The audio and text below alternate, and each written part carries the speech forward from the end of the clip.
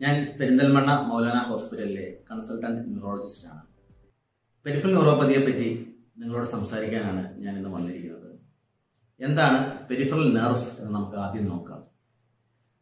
തലച്ചോറും സുഷുമ്ന നാഡിയും ഉൾപ്പെടുന്ന central nervous സിസ്റ്റത്തിൽ നിന്ന് പുറത്തോട്ട് വരുന്ന നാഡീവ്യൂഹത്തിനെയാണ് പെരിഫറൽ നെർവ്സ് എന്ന് പറയുന്നത്.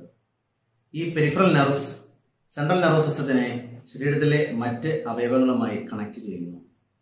അങ്ങനെ സെൻട്രൽ നെർവസ് സിസ്റ്റത്തിന് ശരീരത്തിലെ മറ്റ് അവയവങ്ങളെ കൺട്രോൾ ചെയ്യാൻ സാധിക്കുന്നു. ഇനി പെരിഫറൽ ന്യൂറോപ്പതിയുടെ കാരണങ്ങൾ എന്തൊക്കെയാണെന്ന് നമുക്ക് നോക്കാം. ഡയബറ്റിസും വൈറ്റമിൻ ഡെഫിഷ്യൻസീസുമാണ് ഏറ്റവും കോമൺ ആയി നമ്മൾ കാണുന്ന പെരിഫറൽ ന്യൂറോപ്പതിയുടെ കാരണങ്ങൾ. വളരെയധികം വർഷങ്ങളായ ഡയബറ്റിസ് കൺട്രോൾ ഇല്ലാത്ത ഡയബറ്റീസ് ഇത് രണ്ടും പെരിഫറൽ ന്യൂറോപ്പതിക്ക് കാരണമാകുന്നു. Vitamin B twelve folic acid thiamine തുടങ്ങിയ വൈറ്റമിനുകളുടെ ഡെഫിഷ്യൻസിയും പെരിഫറൽ ന്യൂറോപ്പതിക്ക് കാരണമാവാറുണ്ട്. ഇതിലെ vitamin B twelve deficiency strict വെജിറ്റേറിയൻസിൽ common ആയി കാണാറുണ്ട്. തൈറോയിഡിന്റെ അസുഖങ്ങൾ മദ്യപാനം മരുന്നുകൾ ഇതെല്ലാം പെരിഫറൽ ന്യൂറോപ്പതിയുടെ കാരണങ്ങളാണ്.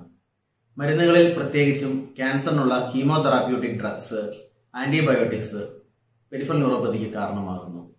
ജനിതക കാരണങ്ങളുമുണ്ട്. ഉദാഹരണത്തിന് C M G D H N D P തുടങ്ങിയ അസുഖങ്ങൾ. നമ്മുടെ ശരീരത്തിലെ പ്രതിരോധ മെക്കാനിസത്തിന് ഉണ്ടാകുന്ന പാളിച്ചകൾ പെരിഫൽ ന്യൂറോപ്പതിക്ക് കാരണമാകാറുണ്ട്. ഉദാഹരണത്തിന് G B S C I D P vasculitic neuropathy connective tissue diseases തുടങ്ങിയവ. ക്യാൻസറുകളും കാരണമാകാറുണ്ട്.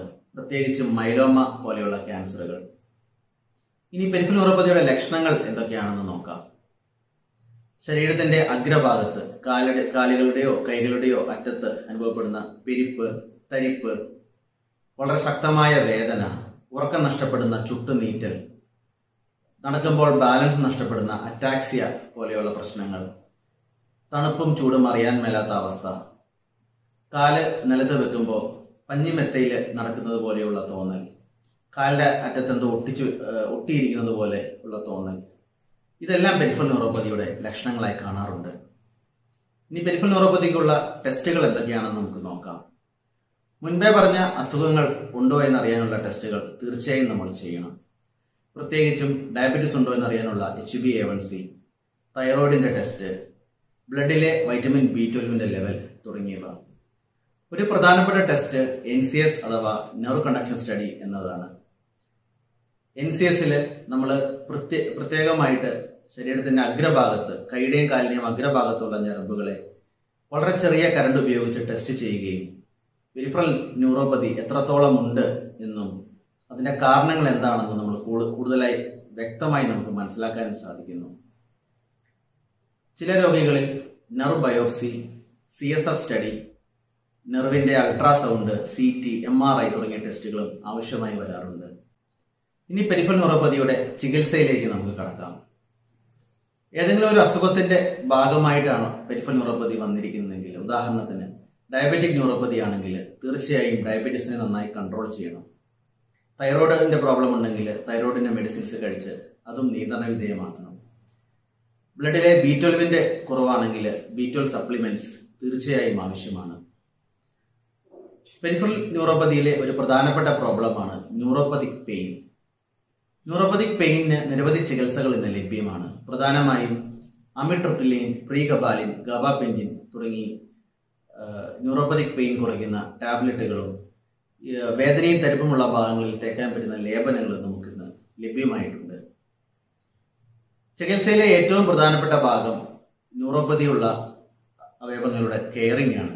പ്രത്യേകിച്ച് ന്യൂറോപ്പതിക്കായിട്ടുള്ള കാലിന്റെയും കൈയുടെയും കെയറിങ് വളരെ ശ്രദ്ധയോടെ വേണം എന്തെങ്കിലും മുറിവുകളുണ്ടോ വ്രണങ്ങളുണ്ടോ എന്ന് ശ്രദ്ധിക്കണം.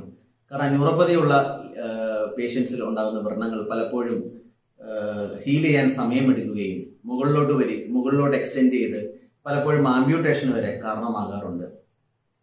അതിനാൽ സ്ഥിരമായി കൈയുടെയും കാലിന്റെയും അഗ്രഭാഗത്ത് മുറിവുകളുണ്ടോ അല്ലെങ്കിൽ ഇതിന് നിറം നിറവ്യത്യാസമുണ്ടോ എന്ന് നോക്കി ഉണ്ടെങ്കിൽ തീർച്ചയായിട്ടും ഒരു വൈദ്യസഹായം തേടേണ്ടതാണ്. ന്യൂറോപ്പതിക് പേഷ്യൻസിന് ഉപകാരപ്രദമായ പ്രത്യേക ചെരുപ്പുകളും ഇന്ന് അവൈലബിൾ ആണ്. അതുപോലെ തന്നെയാണ് നഖം മുറിക്കുമ്പോൾ പ്രത്യേകമായിട്ട് മുറിവുകൾ ഉണ്ടാവാതെ ശ്രദ്ധിക്കേണ്ടതാണ്. ഇതൊക്കെയാണ് പെരിഫൽ ന്യൂറോപ്പതിയെ പറ്റിയുള്ള പ്രധാനമായിട്ടുള്ള കാര്യങ്ങൾ.